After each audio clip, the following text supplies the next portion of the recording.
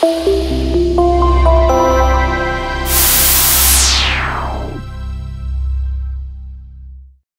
everybody, John Costigan, I'm back. This technique is called Good Question, Why Did You Ask? Now I know I did something else before that referenced Good Question, Why Did You Ask, but I'm gonna, I'm gonna drill down into this technique.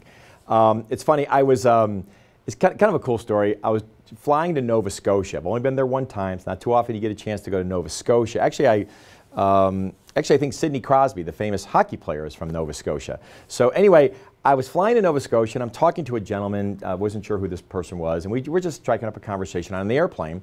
And this gentleman taps me on the shoulder in the back, and I kind of look back and he goes, Hey, um, are you John Costigan? And I said, um, and he kind of caught me off guard. I'm like, uh, uh, well, why, why do you ask? And I kind of laughed. He goes, oh, I know it's you now. And I go, why? He's like, I got your CDs, man. That's one of those things you say, like, don't ever answer a question. I'm like, oh man, well, I don't want to be the guy who doesn't ever answer a question, right? You know, it's not, it's not like, hey, where's the bathroom? Good question. Why'd you ask? I mean, dude, you got to go, you got to go, right? I mean, I'm not that anal about it, but at the end of the day, it is kind of funny to know that even this good question, why'd you ask?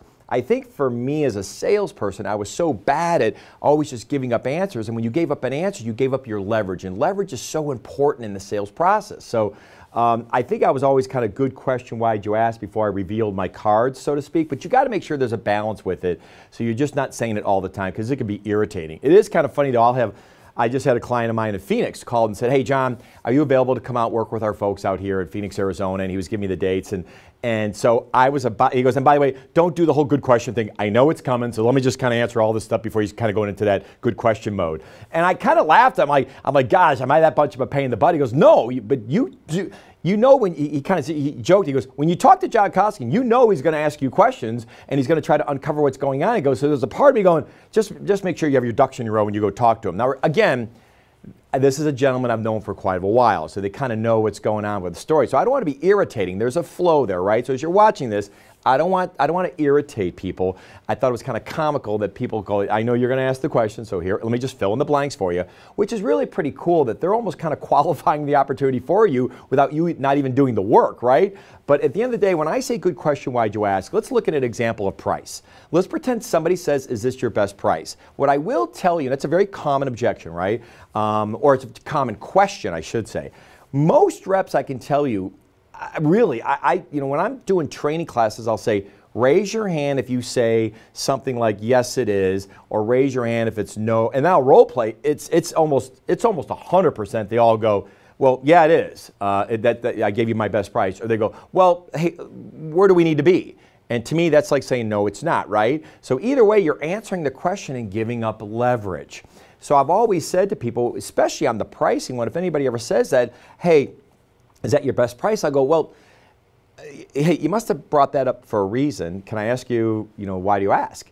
And what's really neat about the exercise we do in our classes is that I'll go to the whiteboard and I'll ask the audience, so tell me why you think they're asking. And what's really cool, I think a lot of you looking at this, you're probably going to say, well, they want a better price. But there's reason behind that. What about this? Maybe they don't have enough budget.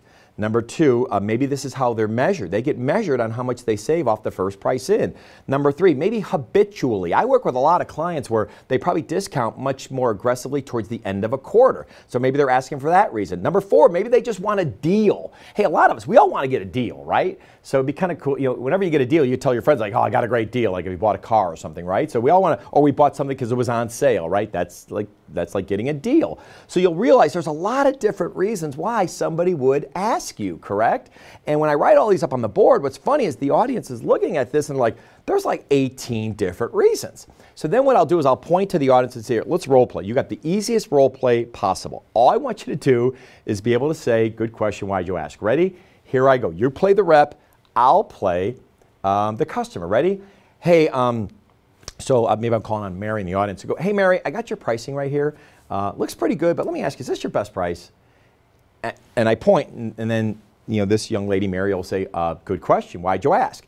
And then I'll look at the board and I'll, and I'll point to somebody else in the audience and go, point to one of these answers. Give me the number. Like, oh, number five. And here's one I didn't bring up, number five.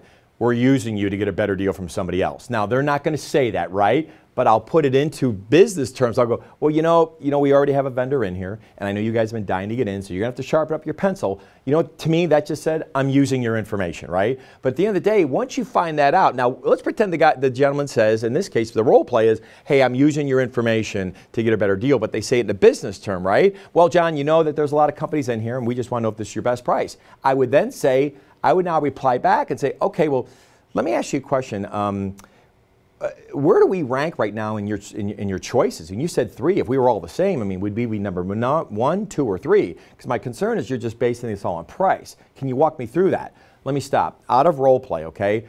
All the only point I want you to really get from this one video is this: when someone says, asks you a question, um, and saying good question, why'd you ask? Don't do it all the time, but especially on price, you can do it. But you might have a variety of different things. Hey, guy, can you guys deliver in two weeks?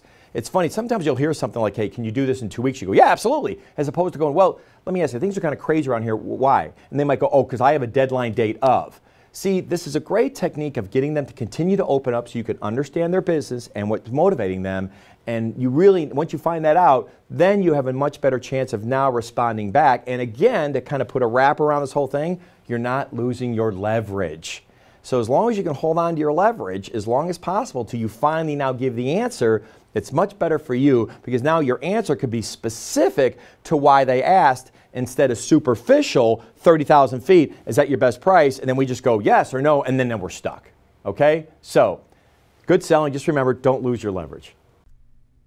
Hey everybody, John Costigan here. The toughest part to any sale is getting in the door, right? Tell you what, click on the URL below this video or go to costigantraining.com slash free week. Take the first step of solving this huge problem of getting in the door. It's five days, five clips, less than five minutes. Click on the link. We'll see you in a few seconds.